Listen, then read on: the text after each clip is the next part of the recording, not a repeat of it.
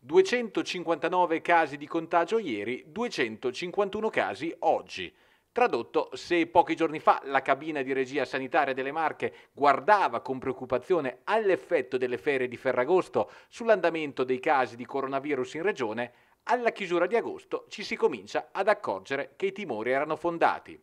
Il post Ferragosto presenta infatti numeri praticamente raddoppiati rispetto ad un paio di giorni fa, con la percentuale di positività al contagio salita al 16% e il tasso cumulativo di incidenza passato in quattro giorni da 69 a 77 casi ogni 100.000 abitanti.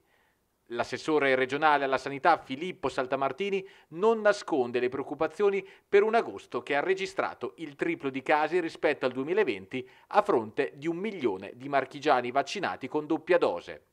L'effetto ferie però è evidente sul fatto che gran parte dei contagi si stanno concentrando sui grandi centri costieri, Civitanova su tutte, mentre nelle aree interne si registrano ben 98 comuni covid-free. Ad esempio, nella provincia di Pesaro Urbino sono 18 i comuni in cui si rileva un confortante zero alla voce contagi. Il report odierno racconta invece di 251 nuovi contagi con 38 casi a Pesaro Urbino. Macerata risulta la provincia più colpita con 87 casi. Dopo tante giornate senza lutti, torna a registrarsi un decesso, quello di una 75enne maceratese con patologie pregresse. Da inizio pandemia sono 3.046 i marchigiani venuti a mancare.